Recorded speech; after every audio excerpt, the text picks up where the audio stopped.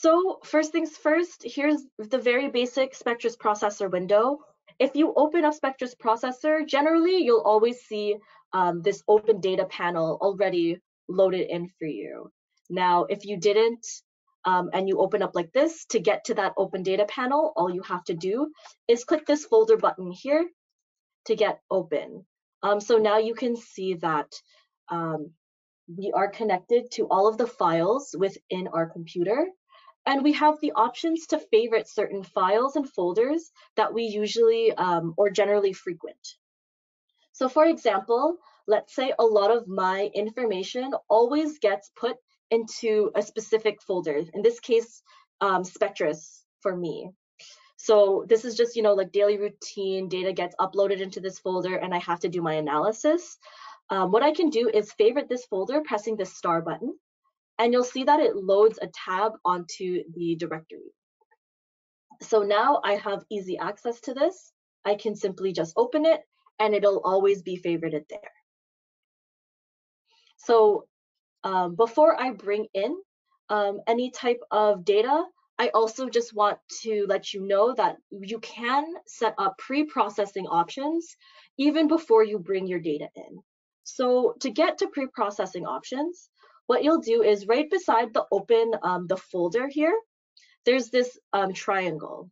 And so whenever you see uh, this triangle or a drop-down triangle beside any of the icons, it generally means that there are more options that you can view. So I'm just going to click that, and I'm going to click um, the pre-processing options.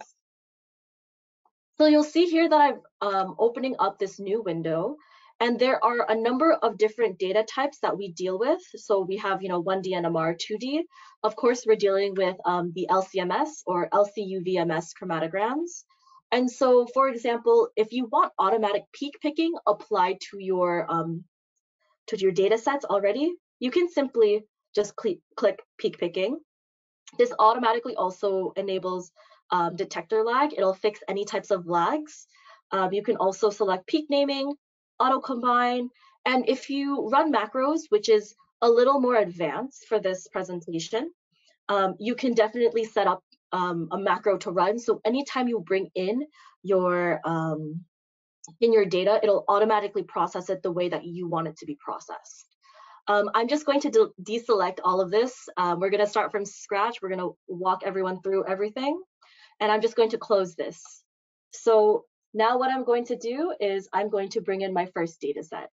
To bring it in, it's very simple. All we have to do is click on the file or folder that we want to, click, drag, release our mouse to drop it in. You'll see that now I have this um, pop up here. So it's letting me know that this is some MassLynx data.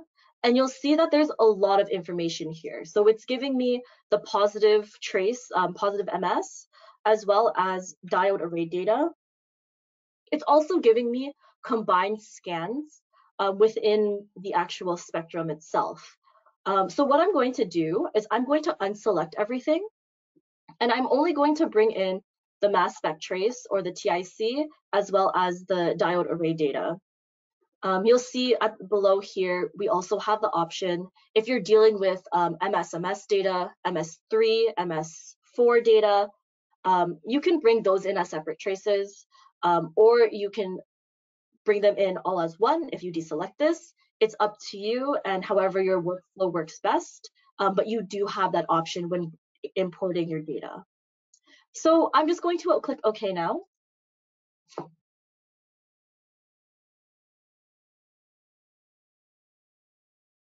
and we should see all of this pop up. So you'll see that we have a number of panels that have opened up.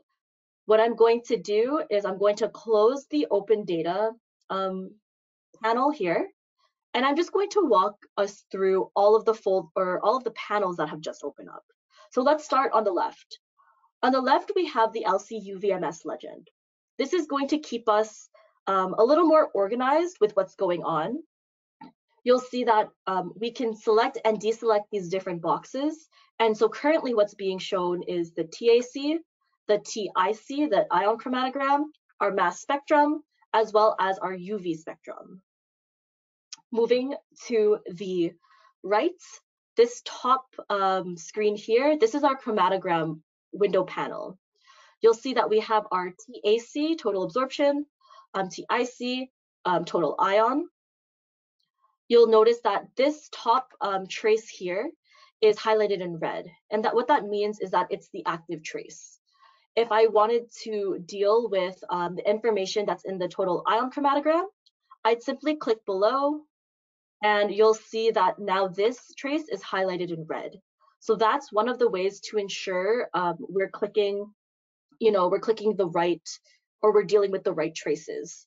You may have also noticed that when I clicked on this specific peak, um, the MS window and the UV window also updated. So this is all live data, right? We can click through the different points and everything's going to update as we go through. So this panel right over here, this is our mass spec panel, um, deals with everything mass spec related. Um, and to the left of that is our UV panel. Now we have the options to open and close any of these panels, and we'll um, definitely do that. Um, this is the table of components. I'll get into that a little bit later in the presentation. So what I'm going to do is just, I'm just going to close it. So now we have a very good view of our chromatograms, our mass spec, and our UV data. For this presentation, I'm not really going to touch upon anything for UV data. So I'm just going to deselect that UV box. And you'll see now I'm just dealing with um, my two traces as well as my mass spec.